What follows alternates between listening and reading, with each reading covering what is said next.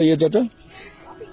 सब कुरान मजीद खत्म हो गए चाचा ये मदरसा था आपका? पचास बच्चियाँ पढ़ते थे अल्लाह वाल से पढ़ाता था। हाँ जी खत्म हो गया। कुरान भी नहीं आते। गुरूर सैल फना इस कदर तो मोहलत दे कि मेरा गाँव मेरी नावों में सिमट आए। सैलाब की सूरत हाल आपके सामने है। गाँव के गाँव सफ़ाई हस्ती से मिट चुके हैं। एक इंसानी अलमिया जन्म ले चुका है। वो जब बात की जाती है वहाँ तो वो कहते हैं, हमें तो शायद इंसान भी नहीं समझा जाता, कोई हम तक नहीं पहुँच रहा। हर एक का अपना दर्द है, लेकिन इन्हीं लोगों में एक शख्स है, एक बुज़ुर्ग है, अल्लाह बख्श उसका नाम है। उसका दर्द बड़ा अजीब है।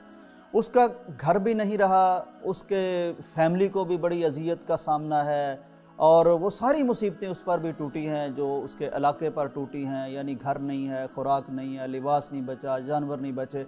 लेकिन उसका दर्द अजीब है और उसका दर्द पूरे पाकिस्तान में सोशल मीडिया के ज़रिए वायरल हो चुका है। ये अल्लाह बख्श ऐसे बुज़ुर्ग हैं कि जिन्होंने एक अपनी ज़मीन पर मदरसा बनाया था, ख़ुद अपनी जेब से पैसे लगा के इकट्ठे करके जिस तरह भी बनाया। तो इन्होंने जब सैलाब में देखा कि इनका मदरसा नहीं रहा और ख़ास तौर पर जब इन्होंने देखा कि मदरसे में जो कुरान मजीद मौजूद थे वो भी सैलाब में बह गए हैं। ये कहते हैं, मैंने अपने बेटों को लगाया कि वो कुरान मजीद को बचाने की कोशिश करें, लेकिन ज़ाहिर है जिस तरह सैलाबी रेला था, वो तो नहीं बच सका।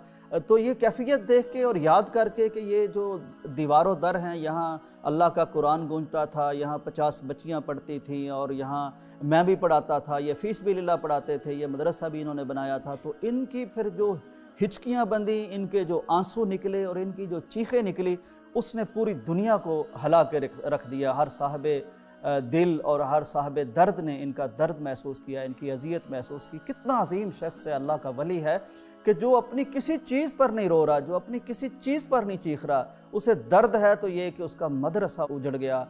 उन बच्चियाँ कुरान पढ़ने वाली पचास, वो अब कैसे पढ़ेंगी? इसका ये दर्द है। सोशल मीडिया पर जब इनकी वायरल हुई, वीडियो वायरल हुई तो बहुत से लोगों ने इनके बारे में जानना चाहा हमने इन बुज़ुर्ग को ढूंढा और इनसे हमने बात की।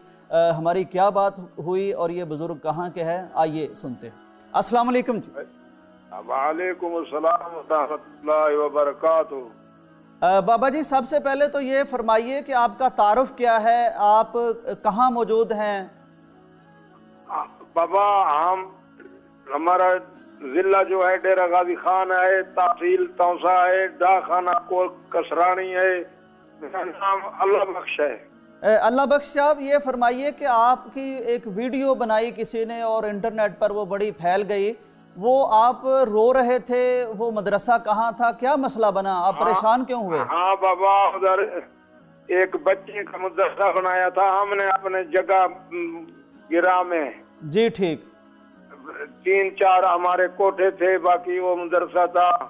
हम भी सबक देते थे मेरे घर वाली पचास साल से शादी है। वो भी उधर मदरसा शुरू हुआ हमारा। वो अभी पानी आया सब मकान ही गिर गए मदरसा ही गिर गया। कुरान मजीद कुरान मजीद। हाँ हाँ वो क्या बना कुरान मजीद को? वो सब पानी में गिर गए रात को बारह एक बजे तक बच्चे मेरे ढूंढते रह गए हैं सब पानी में मिट्टी आ रही है। तो आपको ज़्यादा परेशानी कुरान मजीद की हुई? अपने घरों की इतनी हाँ परेशानी नहीं हुई? कुरान कुरान मजीद की परेशानी मेरे को बहुत रुआया अभी रो रहा हूँ। अभी भी रो रहे हैं आप? अभी रो रहा हूँ कुरान मजीद के लिए मेरे कुरान मजीद दफन होते हैं पानी के साथ मिट्टी के साथ। तो ये है नाजरीन बुज़ुर्ग और ये है इनका दर्द और ये है इनकी कहानी। अजीम शख्स हैं, अजीम शख्स हैं, अल्लाह के वली हैं, जो हर दुख सह गए हैं, लेकिन एक दर्द जो फांस बनकर उनके दिल में चुभ गया वो ये है कि मेरा मदरसा यहाँ दीन की तालीम हासिल करती बच्चियाँ और वो कुरान मजीद जो अब मौजूद नहीं। है इन ये बाग फिर से लहलहाएगा, फूल खिलेंगे बच्चियाँ भी आएँगी, कुरान भी यहाँ आ जाएँगे, मदरसा भी बन जाएगा इन लेकिन ये जो मिसाल कायम की है, इसार की, जज्बे की, कुर्बानी की, और दर्द की, एक अनमिट दर्द कुरान मजीद के साथ जो इन बुज़ुर्गों का है, वो हमें भी झंझोड़ गया है, वो एक मिसाल बन गया है कि सब कुछ तबाह बर्बाद हो जाए तो परवाह नहीं, लेकिन दीन का मदरसा कुरान मजीद और बच्चियों की तालीम इस पर अगर आँच आए तो ये बुज़ुर्ग सफ़ेद रीश दाढ़ी वाले तब रो पड़ते हैं। अल्लाह ताला इन्हें जजाय खैर दे।